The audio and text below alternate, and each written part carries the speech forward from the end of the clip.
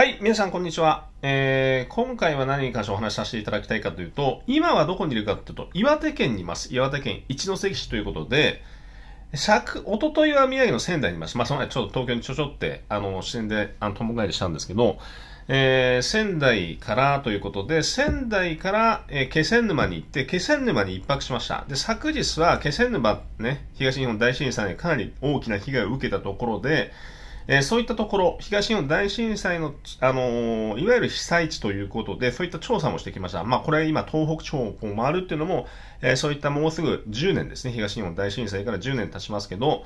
え、その中で、えー、そういう被災地の、え、今のこの現状はどうなっているのか、え、そういった意向もまだ残されてますので、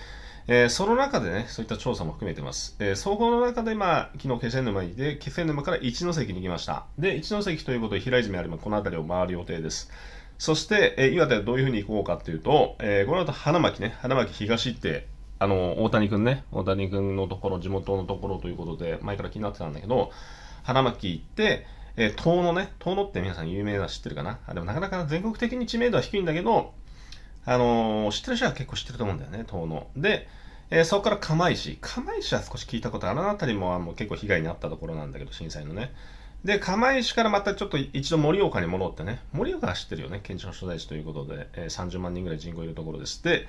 えー、そこから三陸海岸、またちょっとまた海の方、釜石から、ね、まあ、こう行くんだけど、また海の方出て、北三陸ということで三陸をこう進んできます。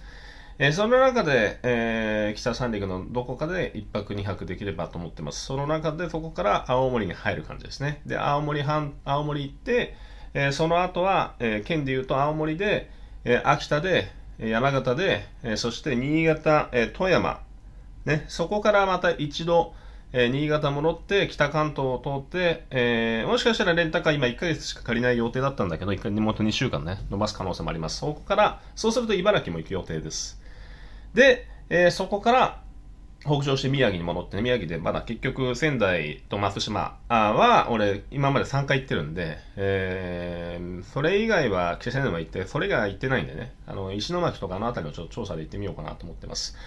えー、その中で皆さんお願いしたいことっていうのは今回ね、あの、東北地方ということで、北陸地方ということでね、まあ、福井と石川県は、まあ、行ったことあるんで行かない予定だけど、もしかしたら延長したらいけるかもしれないんだけどね、いずれにしてもその、えー、東北、北陸でおすすめの場所、皆さんがね、知ってるおすすめの場所、観光名所、もしくはこういったものを食べてくださいとかね、そういったもの、ある程度自分ももちろん知ってるんですけど、もう調べてるしね、あの行ったことなくても調べてるし、大体有名なのは大体わかるんだけど、その中で、いわゆるね、観光名所なるものをね、ぜひ、あのー、お教えいただきたいと、ガイドブックなんか載ってないところありますからね、その中見落とす可能性もあるので、えその中で、えおすすめの名所、おすすめの食べ物、おすすめの飲食店、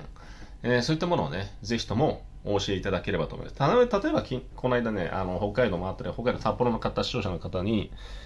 熊牧場、登りベースの熊牧場をお勧めされて、それ知らなかったんですけど、えー、それやっぱ行ったらすごい良かったんだね。そういったところで見落とす可能性もあるじゃないですか。なので皆さんのちょっとぜひおすすめの場所をね、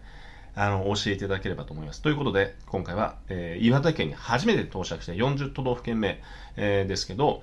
えー、あと残り7件、全国制覇まで7件です。7件か。7件です。えー、あとちょっとということでね、えー、まあ、到着した40件目ということで、と、あとは皆さんお願いということでお題とさせていただきました。